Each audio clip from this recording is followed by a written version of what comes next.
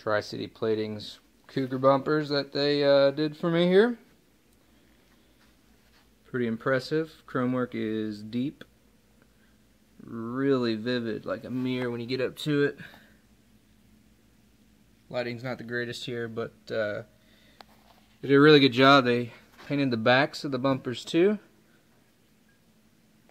Nice little uh, paint in there. Polish it out. Pecked out all my dents on my rear bumper.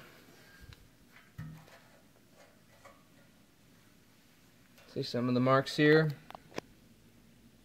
Nothing too crazy though. Very quality job though. Lifetime warranty too. Pretty impressive.